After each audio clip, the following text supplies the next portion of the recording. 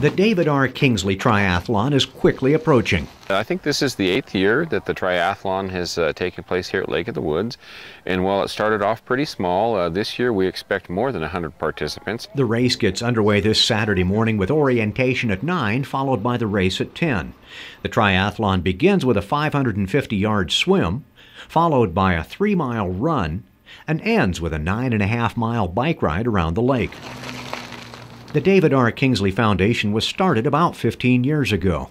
This foundation's charter is to help out disadvantaged people in the community, uh, whether they be military members or just local civilians in the community. Triathlon registrations will be taken right up to the start of the race. At Lake of the Woods, this is Lyle Ahrens, NBC2 News.